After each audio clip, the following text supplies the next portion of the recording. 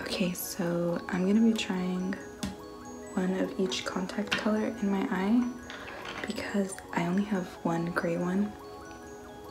Um, because the other one came ripped, so I had to throw it away.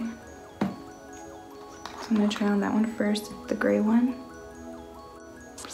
I'm gonna put it in this eye. This eye has astigmatism, so the contacts sometimes look weird on this in this eye.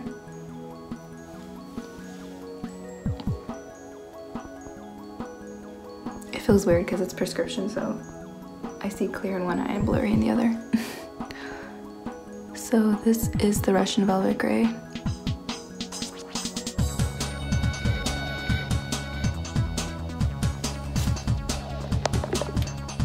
So next, I'm just gonna put on the velvet blue.